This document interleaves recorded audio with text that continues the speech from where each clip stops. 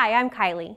If you've ever taken a trip on a plane, did you think about all the people that worked on that plane to make sure it flies safely? Some of those workers are called aircraft structural technicians. Mid-Del Technology Center offers programs that teach those individuals how to inspect and perform aircraft repairs. And the teachers are actually industry experts. Right here in Oklahoma, you can learn what it takes to work in this exciting field. It's never too early to start thinking about what kind of career you can have. And Mid-Del Technology Center just might help you get there. The future is all yours and the sky's the limit. My name is Amy Harden. I'm the Assistant Director of Instruction here at Mid-Del Technology Center. Growing up, my father was an airframe and power plant mechanic, and so on the weekends, he frequently had my sister and I out there around the aircraft. My first flight was out there, went to college, and really decided that I wanted to follow in my father's footsteps. I decided to do some research on local schools and discovered that Career Tech was an excellent option for a low cost and still coming out with the same certification.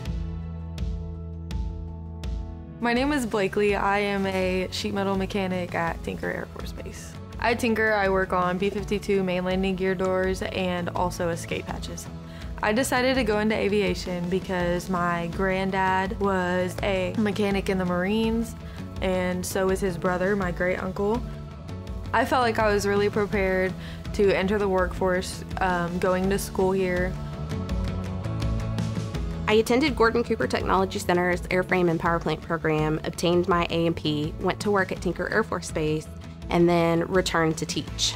I always wanted to teach, but aviation was the curriculum for me. I love everything about aircraft, airplanes, and so it was an exciting opportunity to get to take two of my dreams and put them together into one position. Now, in my role as the assistant director, I now oversee all of our trade and industrial programs here at Mid-Del Tech, including our aircraft structures program. All the schooling that I had through Gordon Cooper and my college for the educational side of things has really led me to be a strong advocate for career tech and specifically aviation in Oklahoma. Our students here learn the general aircraft maintenance portion, and they also have a heavy focus on sheet metal. When our students graduate from the program, they have the option of going to an MRO facility, maintenance, repair, and overhaul. Examples of those here in Oklahoma City would be Tinker Air Force Base or AAR Corp. I feel like there's always going to be jobs that are open for sheet metal mechanics. You're always going to have planes. There's always going to be job openings. It's an exciting industry to be in because of how different it is and how many things that you get to see. The thing that I've absolutely loved working in aviation, specifically the education side of things, is getting to grow students and seeing how we take a student who may not even know how to use a wrench and turn them into a skilled mechanic who does amazing things on keeping aircraft in the air safely, and to watch them change their lives as part of the process.